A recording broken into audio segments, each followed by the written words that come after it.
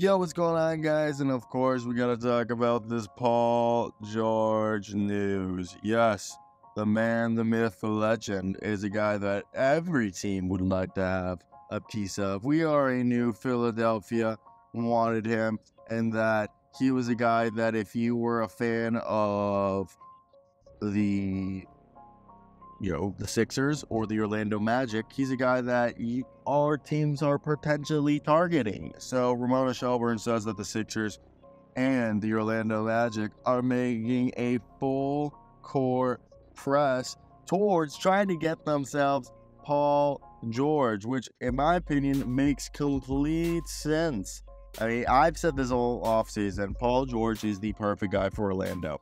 He kind of can, like, if Franz Wagner does become a second option, then Paul George can be a really good third. But if Franz never becomes a true second option, Paul George can be the second option, and then Franz can, you know, be a third. Because right now, I think Franz is more his floor is being the third option, and his ceiling is a second option, while Paolo is that number one guy.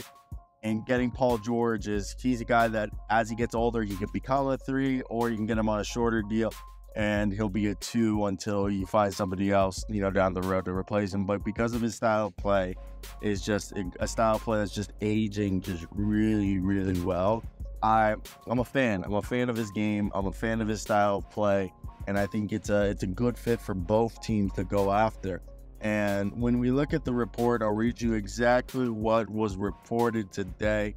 There are two teams right now that are paying very close attention to Paul George. Uh, obviously, the Philadelphia 76ers, as they want to replace the hole that James Harden and Ben Simmons left, while the Orlando Magic or the other team that they're looking for that other guy.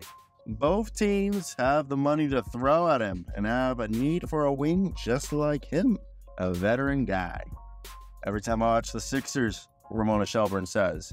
She goes, Oh, they could use Paul George. He could fit right there. And Ramona, I agree. I think that's a great take.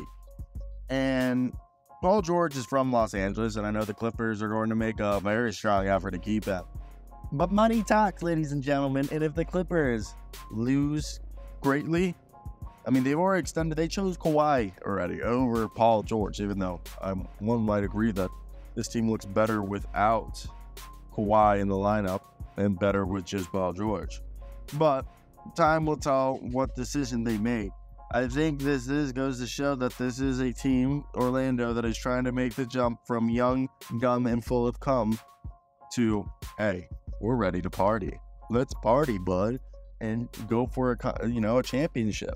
But that's just what we're hearing right now through the grapevines, and I want to hear your guys' thoughts in the comment section. What do you guys expect and why?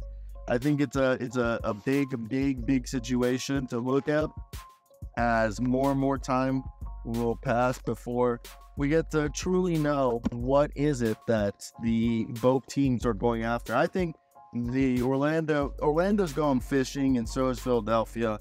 We'll see how that all plays out. But that's basically gonna be it for me. Bye.